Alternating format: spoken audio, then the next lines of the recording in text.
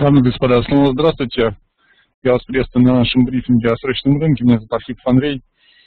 Обсуждаем фьючерсы и опционы сразу после экспирации.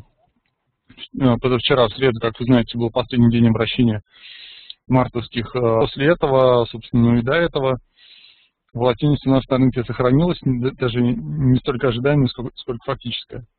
Там мы видим, что под влиянием различных факторов э, наш рынок шарашит то вверх, то вниз. Так, ну по Газпрому, в принципе, картина схожая. По центральным 19 страйкам что-то есть. Ну и по 17 страховке край продан по колам. Дальше у нас ничего нету. А, Все то же самое. Да, участники, которые сейчас на рынке есть, они скорее страхуют свои позиции по фьючерсам, типа по путов вне денег, ну и пытаются продавать края по колам. По редким у нас э, фьючерсам есть большой рост э, объема открытых позиций по центральным опционам, что, в общем, говорит о том, что а, ориентация на какую-то сильную волатильность в ближайшее время может и не быть.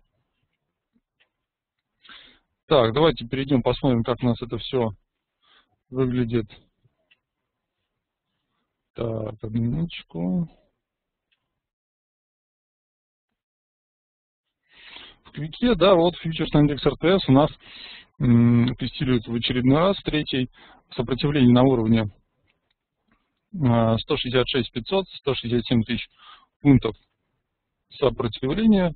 Да, вчера, прошу прощения, позавчера, 15 числа, в среду, он не смог закрепиться выше этого уровня, но тем не менее э, пробитие поддержки нижней 162 тысячи у нас так и не состоялось.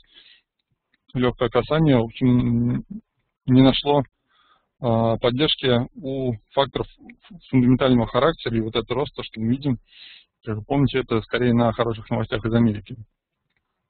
Если у нас фьючерсный индекс РТС будет тестировать нижнюю поддержку, то скорее следующий у нас, естественно, будет а, локальный минимум на 159 тысячах пунктов.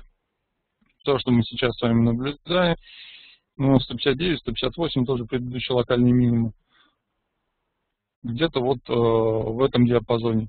Да, при, при преодолении этих уровней тут у нас уже вполне реально 155, э, 153 тысячи пунктов по фьючерсному индексу РТС.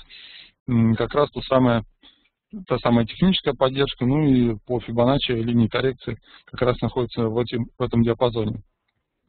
Ну вот это скорее э, такие ожидания на среднесрочную перспективу. Что у нас, э, как у нас э, будет оценка, как у нас выглядит оценка цены с, точки зрения ожидаемой волатильности, мы с вами посмотрим в понедельник при построение определенных прогнозов и ожиданий уже на следующий торговый период. А сегодня я бы уже хотел с вами попрощаться. Учтите, что все рекомендации, которые мы даем, они даются исключительно в информационных целях. Все решения вы принимаете самостоятельно. Спасибо за то, что были э, с нами. Удачи вам, удачно отдохнуть на этих выходных. Берегите себя. Встретимся в это же время в 13.00 в понедельник. Всего хорошего, до свидания.